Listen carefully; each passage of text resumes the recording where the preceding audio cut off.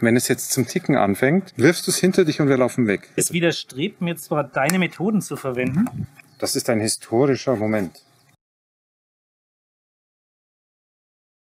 Und für den Fall, dass ihr irgendwann das Gefühl habt, auf Zero Brain gibt's nichts Neues, habe ich mal einen kleinen Teaser mitgebracht. Ist wieder ultra heiße Flugtechnik. Kommt von der Schweizer Luftwaffe. Ich wusste gar nicht, dass die eine haben. Das nehmen wir dann mal auseinander. Wenn ihr schon draufkommt, was es ist, könnt ihr es ja schreiben. Aber wir spielen dann wieder What's Inside, aber in gut, wie ich immer sage. Ich bin mal gespannt, ob einer draufkommt, was das ist. Längs oder quer? Ich muss es hier durchsägen, dass ich das Vorderteil komplett abziehen kann. Da steht übrigens mit Vorsicht handhaben. Ist das, Da steht das? druckdichtes Gerät. Also ich finde, so eine Flex ist extrem Ich vorsichtig. glaube auch, das kann man gelten lassen. Fein, sehr feinsinnig auch. Ja, Ähm, passt auch zu dir. auch immer Schutzbrille tragen, nicht Schutzbrille, vergessen. ne? ja. Keine Handschuhe bei drehenden Geräten.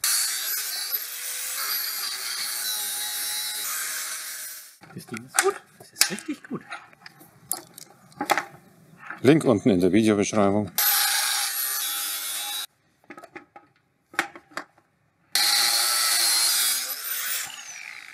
Und was wir drin sehen, das sehen wir beim nächsten Mal. Ui. Ich glaube, jetzt ist es, äh, Garantie ist jetzt, glaube ich, Das abgelaufen. ist gesteckt. Ich habe jetzt, jetzt auch gedacht, dass ja. Okay. Also der zugelötete Deckel ist gesteckt. Was im Nachhinein fast sinnvoll erscheint. Nicht jede Öffnungsprozedur führt auch zu einer äh, Ergebnisfindung. Ne? Ich hätte jetzt erwartet, dass das ganze Graph jetzt rauskommt. Ja, aber, das hätte, ich, das hätte ich auch gedacht, dass man es dann so rauszieht. aber das ist wohl nicht der Fall. Das war jetzt ein typischer Fall von ist nicht. Da kann man nicht irgendwelche Schrauben aufmachen, dass das reingeklemmt ist oder so. Weil das muss ja gebaut worden sein irgendwie. Ja. Wobei langsam habe ich den Verdacht, dass das auf die Grundplatte draufgeschraubt oder so wurde. Eine Schraube habe ich schon abgeflext. Ja, da muss man flexibel bleiben. Na, na, na, ein guter Garten. Das düngt. Und das dünkt mich jetzt anders. Und er löst wieder alles mit Gewalt. Was siehst du jetzt da? Da bräuchten wir jetzt mal eine Zange. Da ist nämlich so ein Band drauf. Vielleicht ist das ja auch die Verbindung. Das ist nicht die es, berühmte. Es widerstrebt mir zwar, deine Methoden zu verwenden. Das ist ein historischer Moment. Hätte ich mehr von den Dingern, könnte ich ja üben, wie man es richtig macht. Embrace the power of the Beißzange oder irgendwie sowas. Das hätten wir gleich so machen können, oder? Ein Öffnungsritual. Also das ist jetzt zumindest, sagen wir es mal so, wir sind schon weiter. Das hat ein bisschen was von Bombenentschärfung. Wenn es jetzt zum Ticken anfängt, wirfst du es hinter dich und wir laufen weg. Tipp.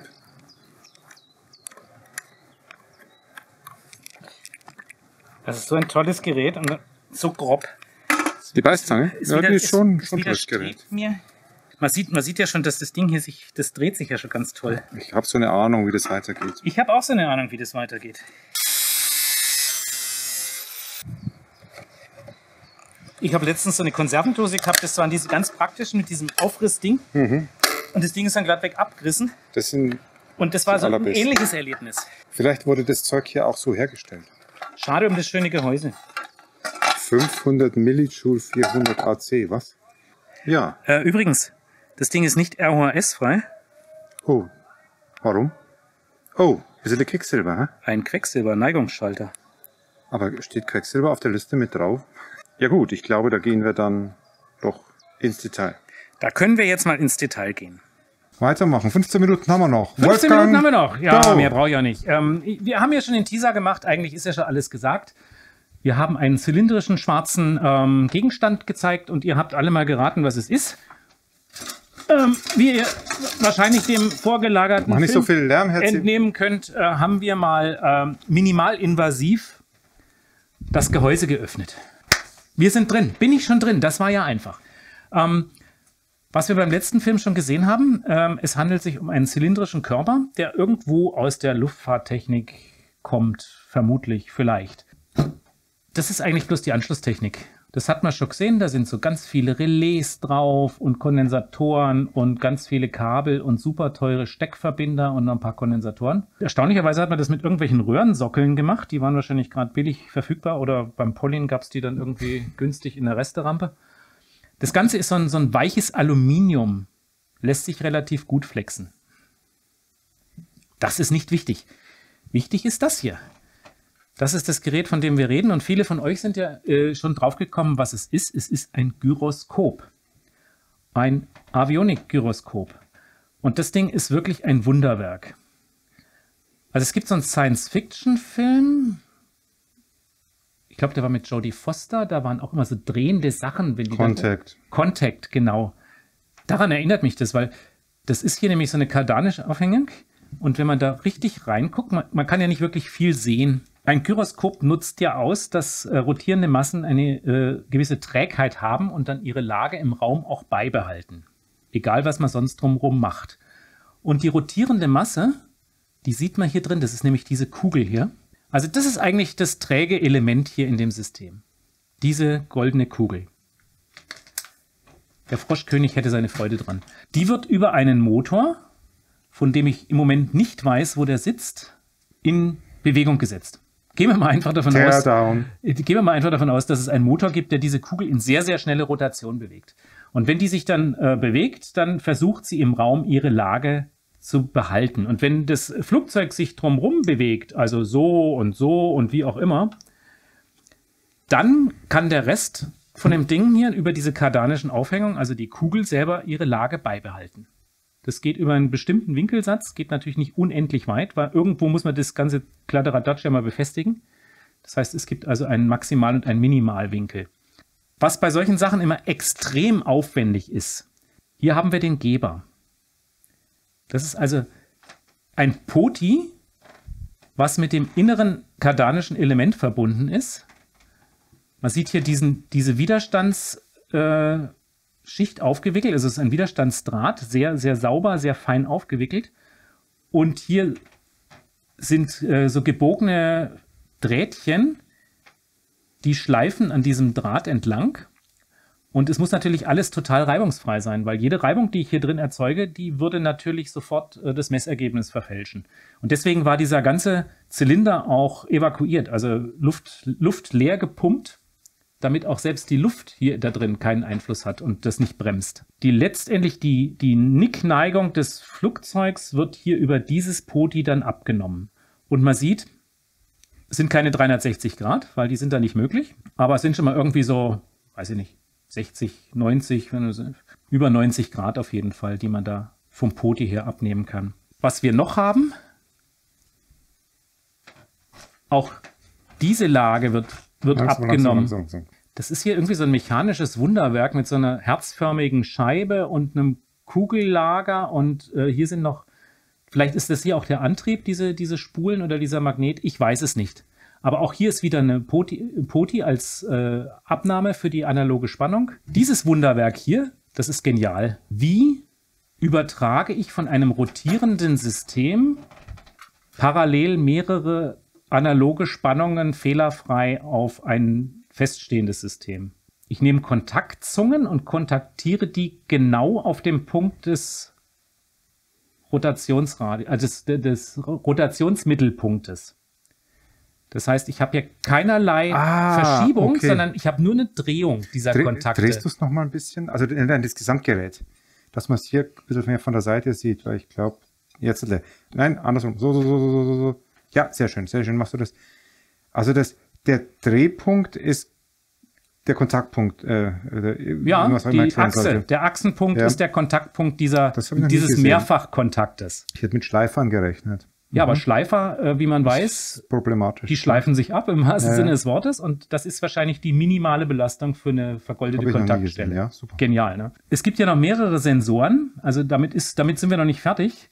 Äh, wir haben hier zum Beispiel auch einen Sensor. Den kennt vielleicht noch mancher von euch. Ich denke mal, der wird irgendwie auch eingestellt, um eine Horizontallage zu detektieren, nämlich ein Quecksilberschalter. Mhm. Da ist so eine kleine Quecksilberperle äh, drin, die schließt den Kontakt, wenn sie in einer bestimmten Lage ist. In der Mitte ist so ein dünner Draht. Ganz faszinierend. Vielleicht auch so eine, könnte es eine Stillstandserkennung oder irgend sowas? Ich habe keine Ahnung, wie das alles funktioniert. Das nächste Mal sehen wir das in Aktion. Äh, ja, ich glaube, das wird schwierig. Also ich glaube, in Betrieb nehmen kann man so ein Ding nicht, wenn man nicht weiß, was man tut. Du guckst, wie die, auch wie die Drähte und so weiter verwurstelt sind. Das muss ja alles diesen ganzen Kräften standhalten. Ja, das ist alles äh, sauber verlötet. Die Lötstellen sind wieder lackiert. Wahrscheinlich als Kontrolle, dass man sie kontrolliert hat.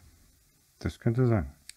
Ähm, alle Kontaktverlötungen sind umgebogen und einmal äh, dann verlötet, dass sie nicht auseinandergehen können. Das sieht man auch hier in den Widerständen relativ gut. Also es ist nicht einfach nur dran gehalten und verlötet, sondern es wird um den Kontakt gebogen und dann erst verlötet. Wen es interessiert, da gibt es von der NASA, glaube ich, einen Guide über Lötstellen und Reparaturen, wo das erklärt ist, wie das raumfahrttechnisch zu machen ist. Da scheint mir übrigens hier so ein, so ein Motormagnet zu sein. Also da sieht man, sieht man auch noch so ein paar Spulen. Also irgendwie muss ja dieser innere Kern muss ja angetrieben werden, dass der schnell rotiert. Da ist noch so ein, Ah. sieht aus wie so ein Spulenmagnet, äh, Ja. Magnet, Elektromagnet. Ja, ich bin überzeugt, das nächste Mal bringst du das Ding nochmal in mehr Einzelteilen und dann verstehen wir das alle. Oh, wirk. naja, auf jeden Fall, innen drin dreht sich diese Kugel. Und wenn sich das Flugzeug außenrum bewegt, bleibt, der, bleibt die Kugel stehen und der Rest bewegt sich um die Kugel Träger- herum. das Trägeding, Die- ja. die- Und äh, bedient dann quasi, um die Lage zu detektieren, die absolute Lage im Raum, diese verschiedenen Potis, die hier angebracht sind. Und für alle, die jetzt denken, sie hätten es verstanden, die dürfen mal Gimbal-Log suchen. Und nochmal als äh, technisches Schmankerl, sieht man jetzt hier auch, alle Kontakte, die hier drin sind, müssen ja in die Außenwelt kontaktiert werden. Also nicht nur von der inneren Kugel zur äußeren kardanischen Aufhängung, sondern halt auch von dem, von dem Gesamtsystem hier zum Flugzeug.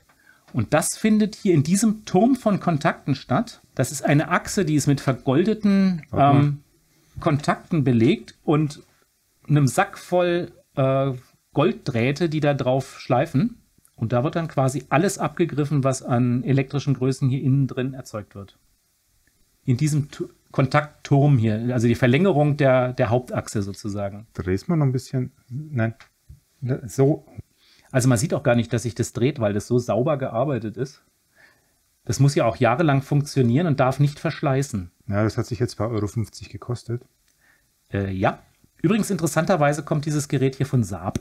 Also die können nicht nur Autos, Haben die nicht Flug oh, Flugzeuge? Da bin ich jetzt. weiß ich nicht. Auf jeden Fall, diese Technik kommt von Saab. Also die können auch sehr interessante Feinmechanik. Ja, und jetzt machen wir uns natürlich alle Gedanken drüber, was mache ich mit so einem Ding? Also gut, es kann mir natürlich jetzt mal hochkomplex sagen, ähm, in welcher Lage sich mein Flugzeug gerade befindet, ob ich horizontal fliege oder ob ich nicht horizontal fliege. Wobei man dazu sagen muss, ich muss es eichen. Also es, ich kriege ja kein, keine Absolutlage, sondern immer nur eine Relativlageänderung. Äh, ich muss irgendwann mal definitiv horizontal fliegen. Dann eiche ich dieses Gyroskop und sage, jetzt bin ich horizontal. Und von diesem Augenblick an detektiert es jede Abweichung. Wenn ich den Nickwinkel überziehe, also über diesen Messbereich hinaus, dann wandert auch das Gyroskop mit und ist verstellt. Dann muss ich wieder in die Horizontallage gehen und wieder Ja, das ist Nullen quasi. Von dem Gimbal-Log, den ich gerade Also, geredet habe. Da gibt es schöne Videos. sehr aufwendig. Wie, man findet sogar in Apollo 13, findet man kurz einen Hinweis drauf. Wenn die einen Fehler machen, müssen sie beim Flug zum Mond die ganze Müssen Sie nochmal zum Mond ganze- fliegen. Äh, muss nochmal zurück, ja. Die ganze Navi also sich nochmal nach den Sternen neu ausrichten, weil eben dann eine, hoffentlich es richtig, eine Bewegungsachse mit einer Achse des Gyroskops übereinstimmt und dann äh, ist das der Lock und dann kann man diese Bewegung nicht mehr erfassen.